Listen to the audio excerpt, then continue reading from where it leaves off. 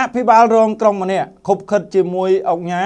ដើម្បីបង្រួមដីផ្លូវសាធារណៈពីធំមកតូចធ្វើឲ្យប្រជាពលរដ្ឋហួសចិត្តចង់ស្រ័យប្រាប់ទៅសម្ដេចតេជោថាអាណត្តិក្រោយមិនដឹងយ៉ាងម៉េចទេ TNM ទូរទស្សន៍អនឡាញដំបូងគេនៅកម្ពុជា ដីនឹងដីម៉ែលោកឯងហីយើងវាដូចជាហួសស្រឡាញ់ដីហួសដីម៉ែលោកឯងហីស្អីមិនកុំចែកឲ្យប្រជាជនទៅជីក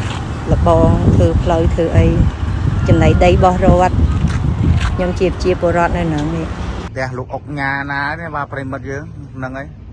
គាត់ណាគាត់ចាក់ខ្សាច់មកលេងមលោបចូលក្នុងទន្លេអានេះចំណីទៅក្នុងទឹកក្នុងដីទន្លេថោះហើយគាត់យកមកធ្វើជា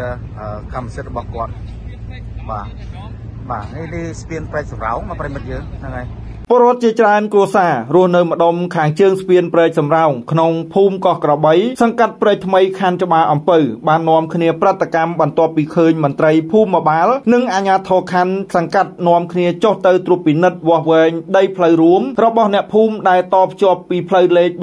369ចុះទៅកាន់កំពង់ទឹកទន្លេបាសាក់ដើម្បីបដូរទីតាំងទៅកន្លែងផ្សេងយោងទៅតាមការស្នើសុំពីអង្គញាម្នាក់ដែលមានលុយទិញដីនៅតំបន់នោះហើយសុកសុកសាលារាជធានីភ្នំពេញចេញលិខិតអនុញ្ញាតដោយមិនមានការសម្របសម្រួលជាមួយប្រជាពលរដ្ឋជាមុនសម្ដែងការហួសចិត្តនេះហើយមន្ត្រីបំរើរាជថ្មីថ្មីនេះពលរដ្ឋភូមិចំពុះក្អែកចំទាស់សាលារាជធានីភ្នំពេញខុបខិតឲ្យអង្គញាម្នាក់បដូរទីតាំងនិងបង្រួមផ្លូវរួមចុះទៅកាន់ទន្លេបាសាក់ខណៈអង្គញារូបនេះធ្វើរបងដីរំលោភយកចំណៃផ្លូវអាជ្ញាធរគ្មានចំណាត់ការបើយោងតាមប្លង់ដែលបានវាស់វែងជាប្រព័ន្ធចេញដោយមន្ទីរសូយោដីគឺបានកំណត់ថា ដីផ្លូវចុះទៅទន្លេមានទទឹង4ម៉ែត្របែជាលោកសុយសេរិទ្ធអភិបាលរងសាលារាជធានីភ្នំពេញចេញលិខិតអះអាងថាដីផ្លូវក្បាលមានទទឹង3ម៉ែត្រនិងកន្ទុយទល់ទន្លេមានទទឹង1ម៉ែត្រទៅវិញ ដែលករណីនេះបានធ្វើឲ្យអ្នកភូមិកាន់តែ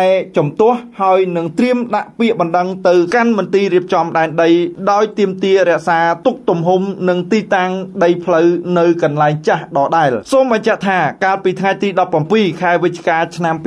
2022លោកសុយសេរិទ្ធអភិបាលរងសាលារាជធានីភ្នំពេញបានចេញលិខិតមួយជម្រាបជូនទៅមន្ទីររៀបចំដែនដីរាជធានីភ្នំពេញស្ដីពីសំណើសុំបដូរទីតាំងច្រកផ្លូវដែលតបជាប់ពីផ្លូវលេខ